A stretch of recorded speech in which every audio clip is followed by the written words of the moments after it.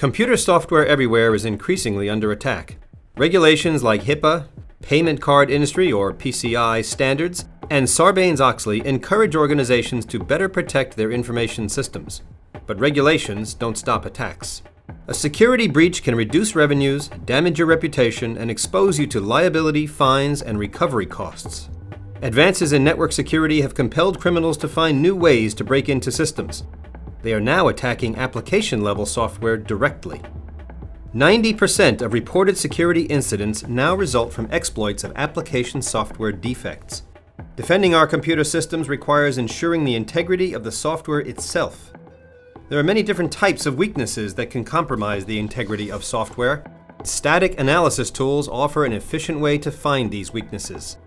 But studies performed by the National Security Agency have shown that any one tool will only likely detect 14% of relevant weaknesses. If you want to achieve better weakness detection coverage and improve your confidence in the results, you need to use multiple static analysis tools. And as anyone who has used multiple tools will attest, this is very hard to do. Each tool generates reports with its own semantics using different names and severity ratings for the same weaknesses, Integrating the results from each tool into one picture is time-consuming and error-prone. Enter CodeDX.